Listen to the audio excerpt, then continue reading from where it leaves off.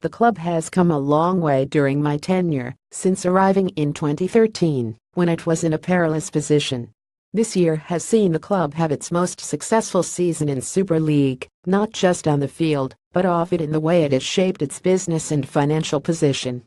Under a young local coach, we have seen a team of quality, proven Super League players finish fourth in the regular season and take part in a closely fought semi-final of the Challenge Cup. Off-field, under the guidance of a former club player as our CEO, we have managed to reduce the operating losses to 20% of those in 2014 which has stabilized the club at this time. Moving forward I strongly believe that the additional investment in recruitment towards the end of last season, combined with an off-season in which the coaches can prepare, we will see the team improve further and genuinely compete for a top four finish and an equally successful cup run. I further believe that commercial decisions I have recently taken, combined with the business partnerships and arrangements I have already secured will, with the strong support of the local community who buys season tickets and regularly attend games, means that the club can become self-sufficient. As I have always said, I am merely a custodian of the club, which will always be bigger than any individual who owns it,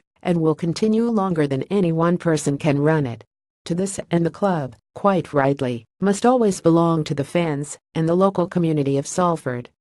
I will continue to hold very high regard for our fans and the wider community supporting us, and because of this have rejected lucrative offers to relocate or rebrand the club, because I have seen that there is an overwhelming passion from the fans to retain the Salford name I have now instructed my legal team, subject to RFL approval, to establish a trust to take ownership of the club for the benefit of the fans and the local community of Salford.